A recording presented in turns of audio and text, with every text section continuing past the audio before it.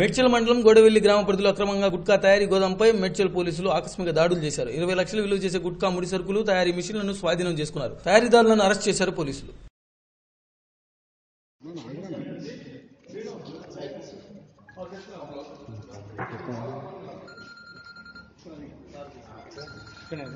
ఏ పరుష్.